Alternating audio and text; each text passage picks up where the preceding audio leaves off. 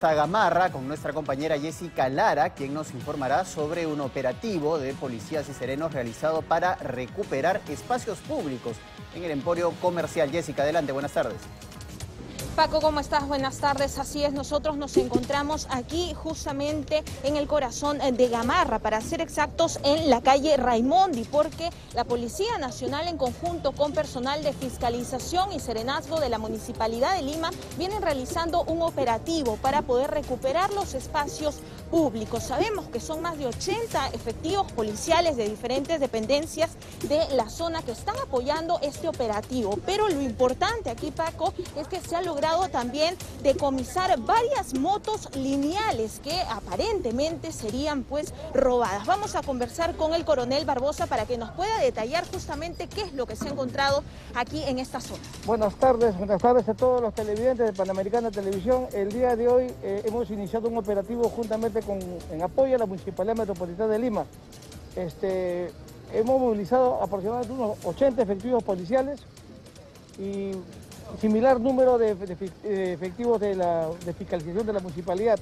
Hemos recuperado eh, la cuadra 16 de García Naranjo, Gamarra y, Raimondi.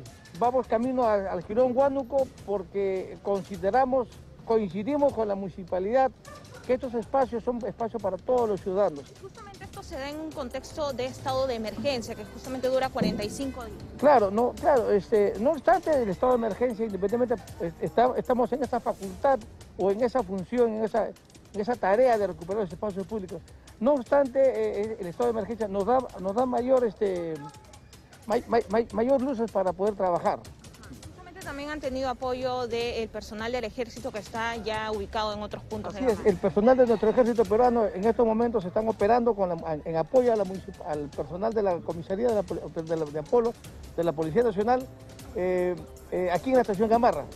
Dentro de unos momentos vamos a dirigirnos a fin de supervisar y alentar siempre eh, este apoyo que nos viene dando nuestro ejército peruano. No ha habido ningún detenido hasta el momento. No, no, no, pero hemos, este, eh, hemos encontrado motos que no están indocumentadas, vehículos, y como usted puede ver, eh, habían ocupado casi toda la, toda la calle.